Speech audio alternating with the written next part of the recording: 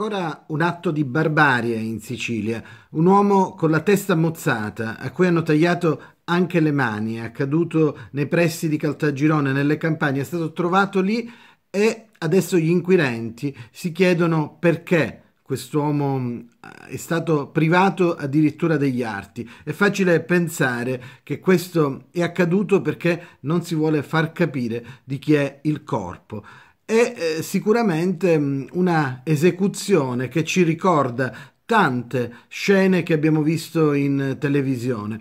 Gli inquirenti escludono la pista eh, della criminalità organizzata, invece pensano che sia qualcosa di personale, appunto una persona eh, che è stata uccisa e di cui non si deve trovare il cadavere, ma mh, è il tipo di esecuzione, la narrazione di questa esecuzione che ci ricorda un po' mh, dei momenti eh, di fiction molto dura che vediamo costantemente in televisione. Un dibattito che si è aperto a livello nazionale, ci sono troppe immagini crude che girano eh, sulla rete, troppo, troppe immagini invadenti che eh, anche nelle fiction televisive mh, ci eh, permettono di vedere eh, quello che nemmeno mai potevamo immaginare. E su questo oh, Beppe Severnini, che dirige eh, da qualche settimana il, l'inserto del Corriere della Sera, ha aperto un dibattito tra due personaggi importanti, l'ex eh, PM di Mani Pulite Gerardo Colombo e Alessandro Fabri, che è uno eh, degli sceneggiatori più importanti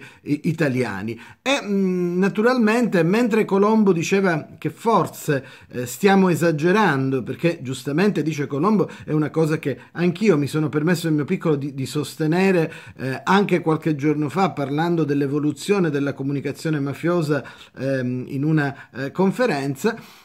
Da una parte c'è una eh, attenzione particolare per narrare i, le gesta dell'assassino, dall'altra invece non c'è la stessa attenzione per la vittima. E eh, se Gerardo Colombo dice questo, dall'altra parte Alessandro Fabri invece dice no, è necessario far vedere eh, il crimine in tutti i suoi aspetti, naturalmente però poi bisogna certamente dosare i valori che si possono trasmettere anche attraverso una fiction. Noi dove stiamo? Stiamo in mezzo, in un eh, paese, in una società che ci propone una televisione dove addirittura ormai i canali specializzati sul crimine eh, sono tanti e li possiamo anche vedere quotidianamente e riceviamo anche attraverso i social un numero incredibile di immagini e di notizie che riguardano appunto eh, crimini. Insomma, mm, c'è da porsi dal punto di vista etico cosa è giusto fare e cosa non è giusto fare.